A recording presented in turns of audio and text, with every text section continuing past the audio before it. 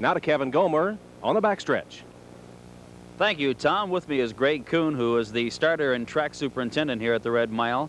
Greg, Lexington's Red Mile, the fastest harness track in the world. Is the track in top shape today?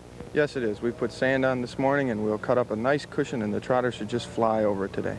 Ready now for the second heat of the Horseman and Fair World for three-year-old fillies. And remember, in that first heat, it was Fan Hanover, a very easy, impressive winner in 155 and 3. She's going to be tough to beat. You think she can be Horse of the Year if she goes on and takes the second heat? I really think so. But then again, we have a little bit of a problem here. We have another filly in the Garnsey stable, Delmegan. If she happens to beat the boys in today's futurity, she could be Horse of the Year. I think this is an interesting race. Will the gray filly finally beat Fan. She hasn't all year. Coming behind the gate, the three-year-old fillies for the second heat of the Horseman and Fair World with that purse of 34,000 a mile pace. And in this second heat, they'll go in post position order corresponding to their finish in the first heat. That means Fan Hanover is number one, Watering Can two, Carol Hanover three, in four, Liberated Angel, Loose News is five, Rosarium six, and Silent Lisa eight. Dee Dee Skipper was scratched. Fan Hanover the one to beat. Oh, definitely so. She beat the boys in the Little Brown Jug, and she's just dominated this group of three-year-old pacing fillies. Fan Hanover, the prohibitive favorite, one to nine for the second heat of the Horseman and Fair World. Here's Carl Becker. Here they come.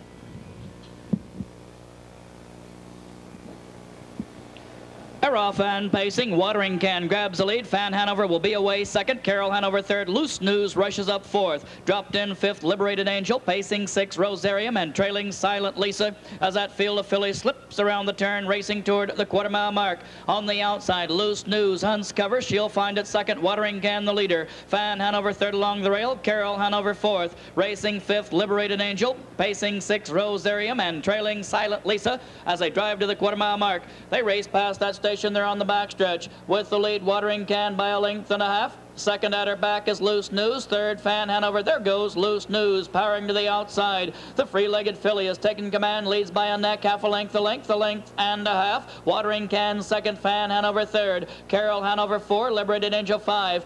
Spacing six, Rosarium, and Silent Lisa can see them all as they race toward the half, led by Loose News. On the move, Fan Hanover. There goes Fan Hanover driving out of third. They're at the half, 57-1 after a quarter and 28 and 4.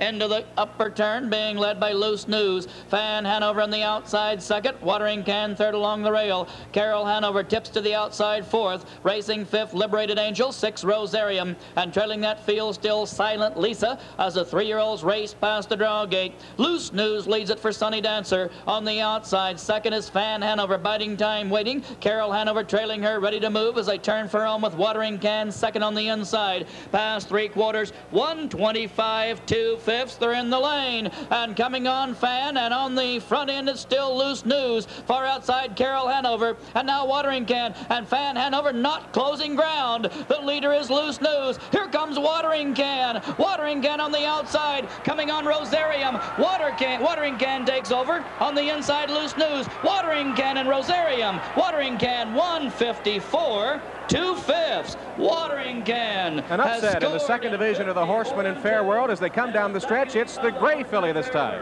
Watering can. She set behind Loose News in a very quick third quarter. It, she raced her mile in 54 and 2, and that's three fifths of a second off of the world record. Tom Fan Hanover in a very quick third quarter was parked to the outside, and that eliminated her chances in the final of the Horseman and Fair World. So Watering Can, the upset winner in the second heat. You see the final time, 1 minute 54, 2 fifths. Watering Can, the winner of the Horseman and Fair World. Stanley, you've been chasing Fan Hanover with this great filly all summer long, and you finally beat her today. Well, let's say I was just a little bit extra lucky today, and she is a great filly, and she's raced great, but, uh, you know, it's just like the Derby. You got to have a lot of luck, and I had a lot of luck that time. And, but she is a great mare, and but the other one's just a little bit, you know, a little super great. That's all. She's a great filly. She certainly is. Both of these fillies. So, Watering Can scoring in 54 and 2, and that is one of the fastest miles ever turned in by a three-year-old pacing filly. Yes, that's uh, maybe the fastest mile I've ever rode too. Albatross is 54 and 3, so uh, I think that's probably the fastest mile I've ever gone. Congratulations. Thank you very much.